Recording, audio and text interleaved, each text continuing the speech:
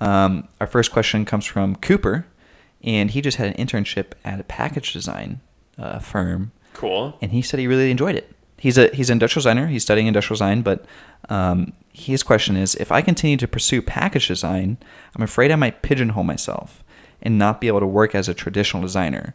What do you guys think about this?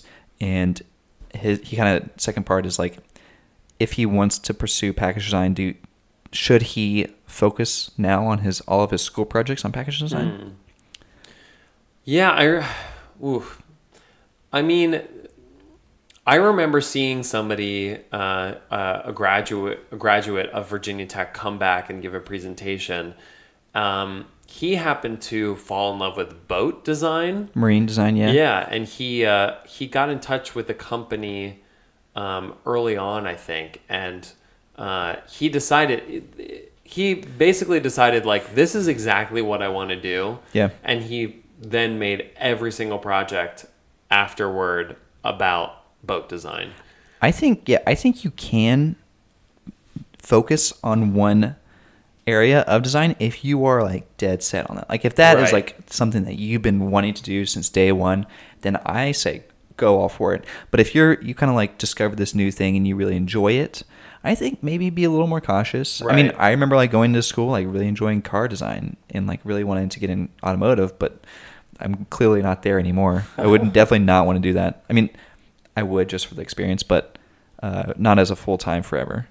Um, I would also say one, another thing is that I think you're only pigeonholed by yourself. Right. Like I don't think you can actually pigeonhole your career. I think as long as you are passionate enough, you can always get out of that. Yeah. And design something else. Yeah. I mean, for example, like I've been doing pet products for three years now, going on four years. Like that's a lot of pet products, and I have like picked up a lot more pet work. Like it's it is starting to pi- make a pigeonhole for me, but I also know that I can break out of that anytime Right. and do other projects because I have established myself as Right. a much broader designer. Right.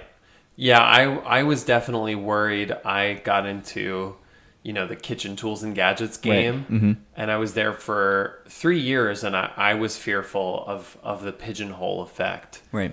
And um, But I, not- I kind of made a conscious decision. I, I like I, I need to break out of this. I need to do work that's outside of this so that I don't end up in this field. Not that it's a bad field, but I was I was interested in tackling other types of problems.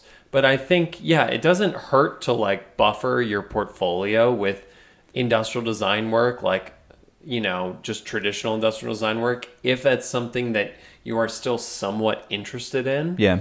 Um, but I don't think that if you were to do packaging design right now, that it would completely negate any sort of attempt to escape the packaging design industry should you find it later on down the road to not be of interest anymore. Right. Yeah, I would totally agree with that. I mean, I also one thing in school that I also enjoyed was furniture, and we mm-hmm. had a full furniture design major at SCAD, and I could have been I could have had a degree in furniture design and been like 100% furniture design, but I decided that I do love furniture, but I also love other design, and I wanted to still keep that broad skill set and look.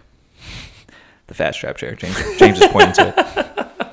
Um, but yeah, you can always do side projects on your own time to expand that thing. I mean, if you look at my portfolio, there's only like two prep products or something like that, Right. And a bunch of other like miscellaneous stuff. So Yeah. Also, we need passionate packaging designers out there. yeah, it's a it's definitely something that not a lot of people are passionate about. So congrats to you, Cooper. I'm super pumped that you enjoy Yeah. it. So, um, yeah, thanks for sending that in, Cooper. Great question.